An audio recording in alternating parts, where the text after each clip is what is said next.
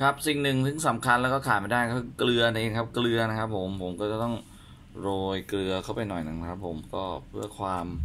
เรียกอะไรอะของย่างเนี่ยมันต้องมากับเกลือครับก็ไม่รู้ทำไมนะครับ ก็มันมีตั้งแต่โบราณนะครับ หลายพันปีที่แล้วนะครับเขาบอกว่าเวลาปิ้งย่างเนี่ยก็จะต้องใส่เกลือนะครับ ผมก็อาจจะเป็นเทคนิคของเขาด้วยนะครับ ส่วนของผมเนี่ยผมก็ใส่นี่เข้าไปด้วยครับ ผมออริกาโนครับทำไมล่ะครับ ก็มันหอมครับผมแล้วก็ ให้ความเป็นอิตาเลียนหน่อยๆนะฮะที่สำคัญที่สุดครับ เราก็ generous ครับเราก็ใส่เต็มที่ครับอ๋อผมชอบเป็นการส่วนตัวนั่นเองครับ ผมก็ทำอีกด้านหนึ่งนะครับ แล้วก็ sprinkle เกลือเข้าไปครับ sprinkle นะครับ sprinkle นะครับก็คือสัดสัดสัดสัดสัดใส่เข้าไปนะครับผม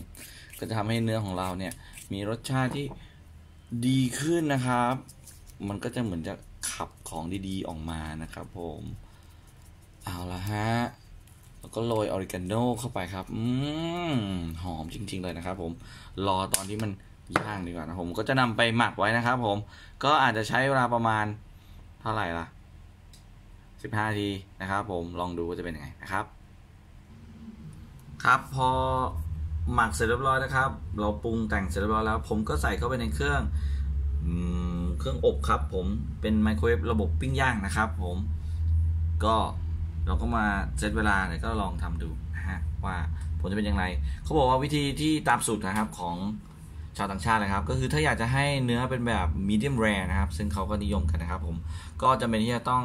ตั้งเวลาด้านแรกเนี่ยให้นานกว่าด้านที่ 2 สักประมาณ 1 นาทีนะครับผมแล้วก็หลังจากนั้นทิ้งไว้หลังจากเสร็จแล้วนะครับ ทิ้งไว้สัก 5 นาทีให้มันอบอวนครับสักนิดหนึ่งอะเดี๋ยวผมลองมาทำดูนะครับ